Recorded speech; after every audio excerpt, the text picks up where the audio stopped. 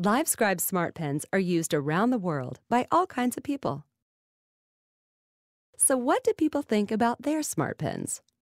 LiveScribe allows me to pay better attention to the person I'm actually speaking to, so I can actually be looking you in the eye. With LiveScribe, I can go back to the notes and just plop the pen on there, and the audio from that second is repeated back for me.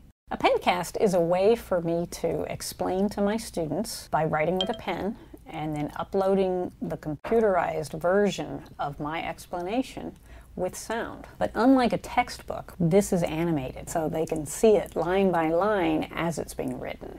It, you know, it almost adds another form of memory. And I can go back and, and press play and kind of listen to what's being said in the room. The ability to go back and listen to those notes opens up a whole nother area of recollection.